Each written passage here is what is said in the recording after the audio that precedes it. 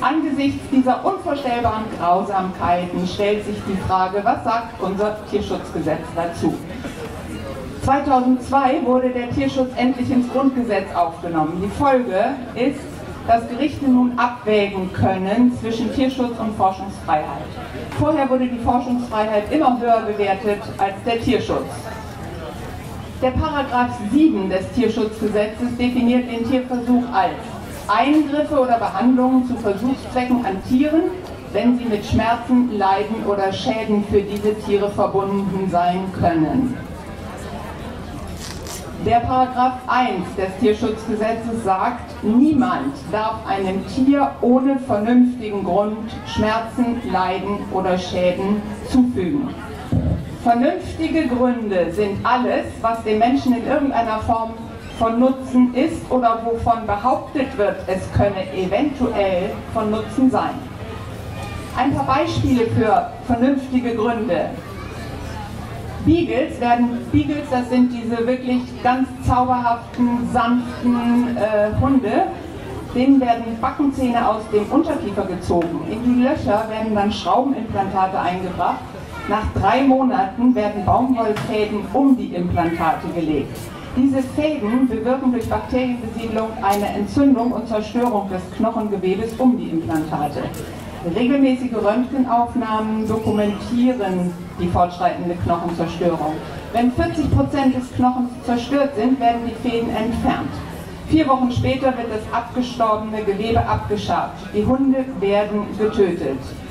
Die Fragestellung ist, wie ähm, wie Knochen auf eine solche Entzündung um die Implantate reagiert. Das ist längst bekannt, weil man das am Menschen sehr gut untersuchen kann, wenn es denn mal passiert.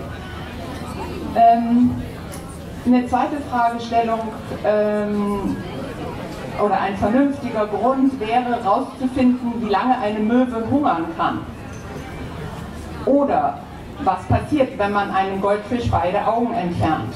Oder wie entwickelt sich das Sehzentrum eines Kätzchens, das unter Stroboskoplicht aufwächst? Das ist wie in der Disco, dieses ständig wechselnde grelle Licht. Oder auch ähm, ein vernünftiger Grund sind auch die Forschungen, die in den sogenannten Primatenstühlen mit den Affen äh, gemacht werden, wie ähm, das im Fernsehen ja im September auch gezeigt wurde, wo die Tiere eben ähm, mit dem Kopf, mit Bolzen im Kopf äh, fixiert werden und dann bestimmte Aufgaben lösen müssen, um was zu trinken zu bekommen. Ein früherer Vorsitzender der Ärzte gegen Tierversuche von 1988 bis 2002, Dr. Werner Hartinger, hat einmal gesagt, es gibt nur zwei Gründe für Tierversuche. Entweder man weiß zu wenig darüber oder man verdient daran. Recht hat er. Die enormen Gewinne habe ich eben schon beispielhaft genannt. Ein paar Worte zu dem Wissen.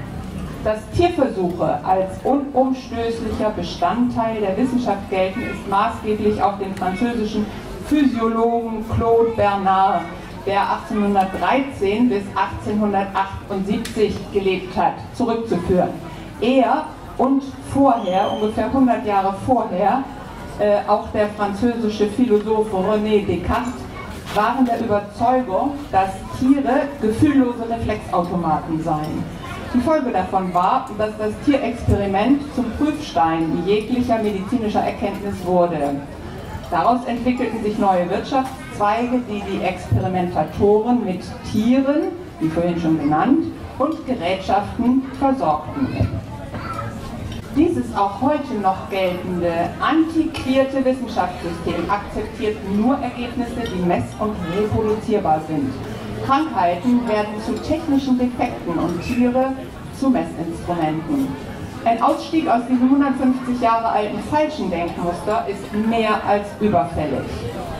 Dass dieses Denkmuster nicht nur alt, sondern auch falsch ist und Ergebnisse von Tierversuchen nicht auf Menschen übertragbar sind, liegt im Wesentlichen an zwei Gründen.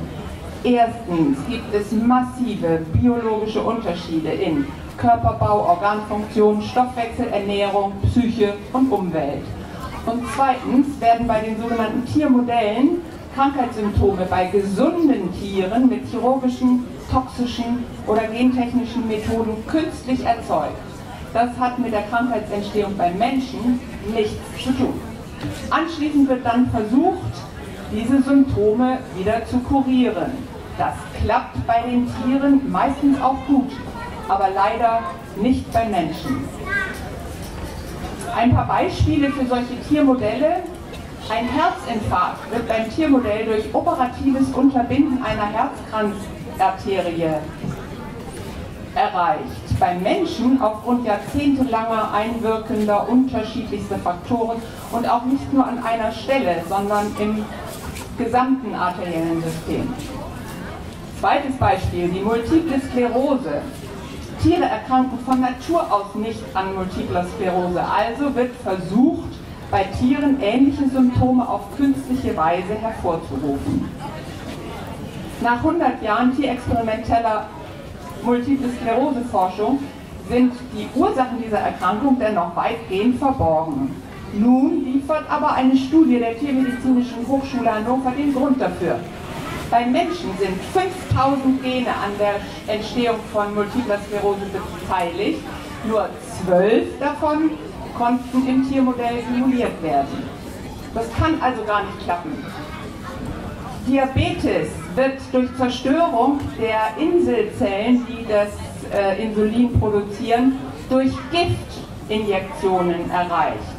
Krebs durch Genmanipulation und ein Schlaganfall wird durch einen Faden in einer Hirnarterie simuliert. Ich vergaß noch zu sagen, dass das zugrunde liegende Gesetz, was die Tierversuche vorschreibt, 65 Jahre alt ist.